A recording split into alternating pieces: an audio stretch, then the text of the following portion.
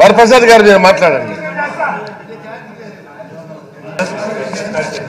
అధ్యక్ష ఏదైతే రాష్ట్రంలో వెనుకబడినటువంటి జిల్లాలు అభివృద్ధి చేయాలనేటువంటి నిర్ణయం ప్లీజ్ మరి అన్ని ప్రాంతాలకు కూడా అభివృద్ధి చెందాలనేటువంటి ఒక ఉన్నతమైనటువంటి ఆలోచన చేసినటువంటి మన గౌరవ ముఖ్యమంత్రి జగన్మోహన్ రెడ్డి గారు ఇటువంటి ఆలోచనలు ఉన్నతమైనటువంటి వ్యక్తులకే ఉన్నతమైనటువంటి ఆలోచనలు వస్తాయి అధ్యక్ష ఎందుకంటే అభివృద్ధి అనేది ఒక చోటే కేంద్రీకృతం అయి ఉంటే ఆ ప్రాంత ప్రజలు మాత్రమే అభివృద్ధి చెందుతారు అధ్యక్ష అలాగే ఈ పదమూడు జిల్లాల్లో అన్ని ప్రాంతాలు కూడా అభివృద్ధి చెందితే రాష్ట్రం అభివృద్ధి చెందుతుంది.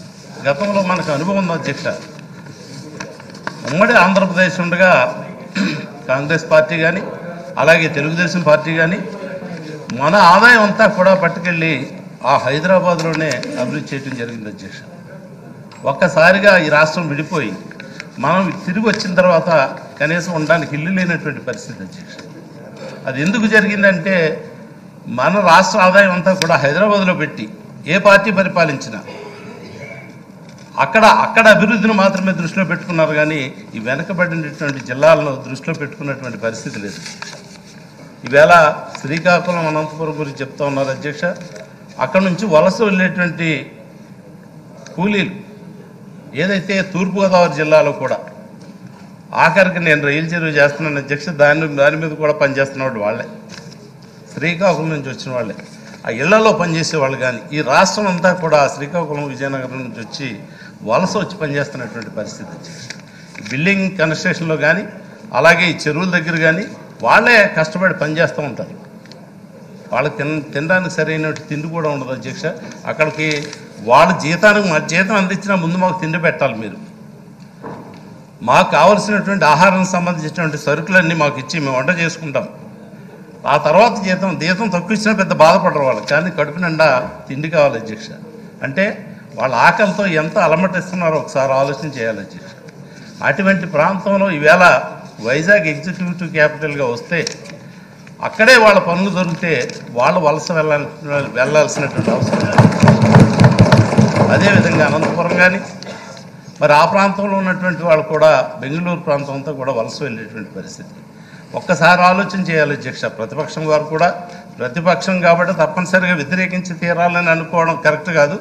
ఎందుకంటే ఎక్కడ అభివృద్ధి జరుగుతుందో ఎక్కడైతే ప్రజలు అభివృద్ధి చెందుతున్నారో ఆ రకంగా మనం ఆలోచన చేయాలి. కానీ కేవలం అధికార పార్టీ ఏదో చేసింది కాబట్టి మనం వ్యతిరేకించాలనేది కరెక్ట్ కదా అధ్యక్ష. అదేవిధంగా ఈ ప్రాంతంలో జరిగినటువంటి అవినీతి కూడా అమరావతిలో జరిగినటువంటిది ఇందాక ప్రజలకైతే తెలియదు అంత వివరంగా.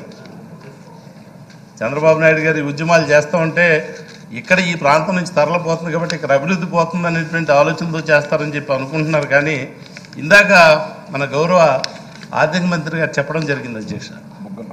బుగ్గన రాజేంద్ర గారు చెప్పడం జరిగింది అధ్యక్ష. ప్రతిదీ కూడా వివరంగా. ఇక్కడ ఎవరెవరు ప్రభుత్వానికి కావలసినటువంటి భూమిని ఇస్తే ఏ రేటుకి ఇస్తున్నారు? అదే మనకు కావలసినటువంటి అనుచరులకు ఇస్తే ఏ రేటుకి ఇస్తున్నారు? నాలుగు కోట్ల రూపాయలు ఎకరం నాలుగు కోట్ల రూపాయలకి ప్రభుత్వం సంబంధించినటువంటి సంస్థలకు ఇస్తే ఈ సొంత వారికి సొంత ఆదాయం కోసం రెండు వందల రెండు వందల ఎకరాలు రెండేసి వందల ఎకరాలు యాభై లక్షల రూపాయలకి ఇవ్వడం జరిగింది అధ్యక్ష. ఈ విషయం బయట ప్రజలకు తెలియదు అధ్యక్ష. ఈ అసెంబ్లీ సాక్షిగా ఇప్పుడు అందరూ చూస్తూ ఉన్నారు. ఈ మీడియా ప్రసారం చూసిన తర్వాత ఎంత మోసం జరుగుతుందో ఒక్కసారి ప్రజలకు కూడా తెలుస్తుంది అధ్యక్ష. అదేవిధంగా మరి వేళ జరుగుతున్నట్టు ఇందాక మన రామకృష్ణారెడ్డి గారు చెప్పారు. నీకు ఆ రాష్ట్ర అభివృద్ధి ముఖ్యమా? నీ అభివృద్ధి ముఖ్యం అంటే నాకు రాష్ట్ర అభివృద్ధి ముఖ్యం. నా అభివృద్ధి తర్వాత ఆలోచిస్తాం కానీ నాకు రాష్ట్రం సుభిక్షంగా ఉండాలనేటువంటి ఆలోచన నా పదవి గురించి నేను ఆలోచన చేయట్లేదని చెప్పి ఆయన చెప్పడం కూడా జరిగింది. అటువంటిది కేవలం మరి ఈవేళ గౌరవ ముఖ్యమంత్రి గారి పరిపాలన. నేను కూడా అనుకున్నాం అధ్యక్ష. ఈయన గెలిచిన వెంటనే పథకాలు ప్రకటించుకుంటూ వెళ్ళిపోతున్నారు. ఏముంది? రాష్ట్రంలో ఎలాగ అమలు జరుగుతాయి? అమ్మఒడి చూస్తే ఆరు వందల యాభై కో ఆరు వేల ఐదు వందల కోట్లు అవుతుంది ఎలా వస్తుందని చెప్పి అందరూ అధికార పార్టీ వారు కూడా ఎమ్మెల్యేలు కూడా తలగిల్లుకున్నారు. ఏమవుతుంది ఈ పరిస్థితి అని చెప్పి. కానీ సమర్థవంతంగా ఏదైతే మాట ఆయన చెప్పడం జరిగిందో అది సమర్థవంతంగా వారం రోజుల ముందే ఆ నిధులన్నీ విడుదల చేయడం జరుగుతుంది. ఏ పథకం కూడా ఆగినటువంటి పరిస్థితి లేదు. ఆయన క్రొత్త పథకాలు. ఈవేళ ఉద్యోగాలు ఎక్కడి నుంచి వస్తాయి అధ్యక్ష? నాలుగు లక్షల యాభై వేలు ఉద్యోగాలు. అది సృష్టి. సృష్టించి క్రొత్తగా ఒక సచివాలయం కానీ అదేవిధంగా వాలంటీర్లు కానీ సొంతంగా సృష్టించి ఇచ్చినటువంటి ఉద్యోగాలు వచ్చారు. అదొక చరిత్ర. నిజంగా అంతమంది నిరుద్యోగులకి ఉద్యోగం కల్పించడం అంటే సామాన్యం కాదు. ఇవాళ చదువుకున్నటువంటి పిల్లలు అందరూ ఉన్నారు. కానీ ఉద్యోగం లేకుండా నిరుద్యోగులుగా ఉండి ఇతర దురాలవాట్లకు పాలవుతున్నటువంటి పరిస్థితి. ఆ యువతకందరికీ కూడా ఒక ఆధారం కలుగజేసింది. ఈవేళ ఆ యువత అంతా కూడా ఒక ఒక నిర్దిష్టమైనటువంటి ఆ జీవితానికి ఒక మార్గం ఏర్పాటు చేసుకునే పరిస్థితిని ఏర్పాటు చేసింది గౌరవ ముఖ్యమంత్రి గారు అధ్యక్ష. చిన్న వయసులో ఉన్నారాయన ఈ చిన్న వయసులో ఈయనకు అనుభవం లేదని చెప్పి చాలామంది చెప్పడం జరిగింది. అనుభవం కాదు అధ్యక్ష- గారికి దానికి కావాల్సింది. చేయాలనేటువంటి దృక్పథం ఈ ప్రజలకు సేవ చేయాలనేటువంటి ఆలోచన అటువంటి ఆలోచన ఆయన ఉంది కాబట్టే ఇటువంటి ప్రజల గురించి ఆలోచన చేయడం జరుగుతుంది. సొంతం గురించి ఆలోచించకుండా ఉంటే ఆయన సంపాదించాల్సిన అవసరం లేదు. కేవలం పదవులోకి వచ్చిన దగ్గర నుండి కూడా ఈ ప్రజలకు ఏం చేద్దాం? ఎలా మార్పు తీసుకొచ్చి ఈ ప్రజల జీవితాల్లో మనం వెలుగును చూపించాలనేటువంటి ఆలోచనతోనే జగన్మోహన్ రెడ్డి గారు పనిచేయడం జరుగుతుంది అధ్యక్ష. తప్పనిసరిగా అటువంటి ఉన్నతమైనటువంటి కార్యక్రమాలు చేస్తున్నటువంటి వ్యక్తిని ఎప్పుడు కూడా అందరూ కూడా సపోర్ట్ చేస్తూ ఉన్నారు. బయట మన మన మా నాయుడు గారు అంటా ఉన్నారు. ఒకసారి ప్రజల్లో ఓటింగ్ పెట్టమని ఈ వేళ పెట్టి చూస్తే తెలుస్తుంది అధ్యక్ష. ఎందుకంటే మూడు రాజధానులకు ఎక్కడికి వెళ్ళినా సరే మూడు రాజధానులకు అనుకూలంగానే ఎవరైనా మాట్లాడుతున్నారు తప్పితే ఎవరు వ్యతిరేకంగా మాట్లాడినటువంటి పరిస్థితి లేదు అధ్యక్ష. సభాముఖంగా ఆయన సభలో అది పెట్టలేరు కాబట్టి ఆయన అడుగుతున్నారు కానీ నిజంగా పెడితే ప్రజాభిప్రాయం అయితే మూడు రాజధానులకు అనుకూలంగానే ఉంది అధ్యక్ష. దాని మీదే మేము కూడా చాలాసార్లు చెప్పడం జరిగింది. ప్రజల అభిప్రాయమే మా అభిప్రాయం అధ్యక్ష. అలాగే